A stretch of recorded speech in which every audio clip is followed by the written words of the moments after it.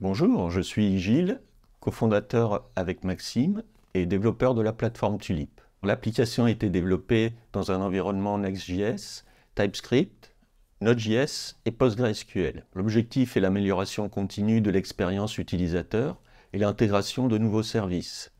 La cybersécurité reste au cœur de nos préoccupations, évidemment. Pour faire face à ces enjeux, nous recrutons des personnes à fort potentiel, euh, que ce soit des juniors passionnés ou des leaders expérimentés. Rejoins-nous si tu es prêt à participer à un projet ambitieux, que tu es prêt à sortir de ta zone de confort, mais dans un environnement chaleureux.